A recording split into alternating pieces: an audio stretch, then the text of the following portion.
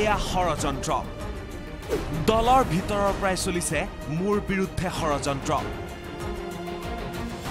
অভিযোগ সত্য প্ৰমাণিত হলে জীয়ৰীৰ লগত ময়ো যাম জেললৈ। সাংসদ আৰ পি শৰ্মাৰ বিস্ফোৰক প্ৰতিক্ৰিয়া।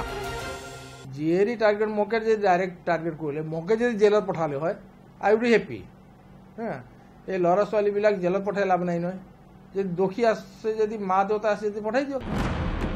অসম লোকসেৱা আয়োগৰ বিতৰ্কিত অধ্যক্ষ ৰাকেশ পালৰ কাৰ্যকালত বক্ৰপথেৰে চাকৰি ক্ৰয় কৰাৰ অভিযোগত ওঠৰ জুলাইত হস্তাক্ষৰ পৰীক্ষাত অৱতীৰ্ণ হ'ব সাংসদ আৰ পি শৰ্মাৰ কন্যা Pallavi Sharma.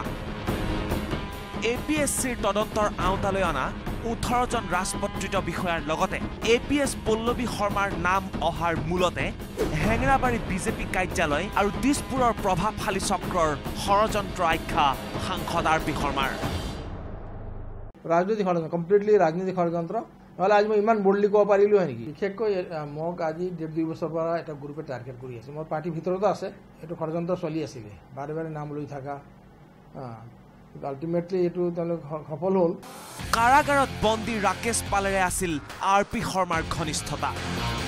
এই কথা স্বীকাৰ কৰিছে আৰ পি শৰ্মাই।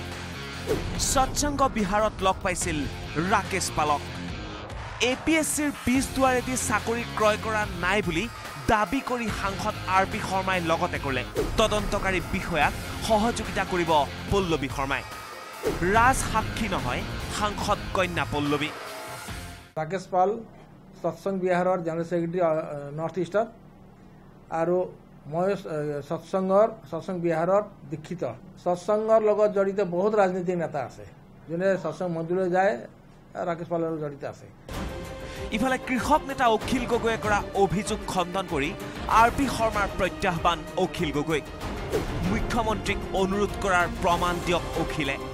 প্ৰমাণ দিব পাৰিলে সাংসদ পদ ত্যাগ কৰিব আৰ পি শৰ্মাই।